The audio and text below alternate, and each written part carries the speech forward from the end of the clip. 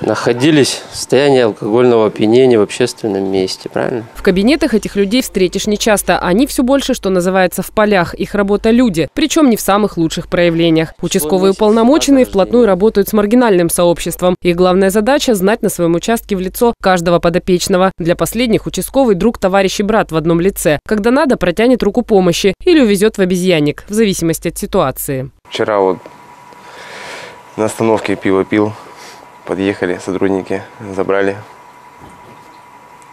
А вы первый раз в полиции? Ну, ну нет, было дело. Уже не раз.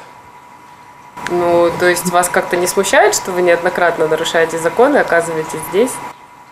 Ну вот попадаюсь просто вот судьба у меня такая. И несмотря на профессиональный праздник, у участковых рабочий день проходит в штатном режиме. Оформить задержанных, выехать по сигналу, заполнить тонны документов. В их работу входит буквально все. От раздачи листовок о вреде коррупции до вмешательства в пьяные семейные разборки, в которых иногда достается и самому участковому. У нас работа такая, что уже мы немножко страх, может, как-то по-другому воспринимаем. То есть мы уже, даже если это страшно, то сотрудник полиции уже у нас ну, не имеют просто права бояться. Приходится уезжать на любые дебоши, на любые происшествия. То есть так или иначе страшно это уже не для нас, так скажем. Стать участковым непросто. При приеме на работу предъявляют жесткие требования, вплоть до проверки на детекторе лжи. Может быть, поэтому здесь кадровый голод. Во Владивостоке работает 180 участковых, а необходимо 210. Служба очень сложная. Э, кроме того, к участковым полномоченным, как никому, опять же, из сотрудников полиции, требования более так скажем, жестче предъявляется со стороны Министерства внутренних дел.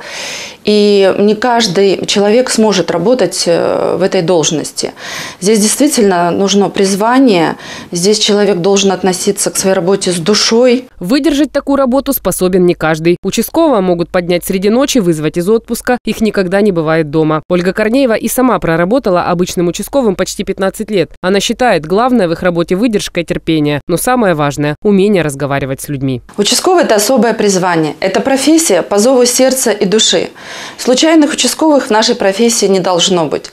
Примите мои самые искренние поздравления и пожелания в этот торжественный день. Желаю вам счастья, здоровья и семейного благополучия. Светлана Садовая, Дмитрий Сухоруков. Новости на восьмом.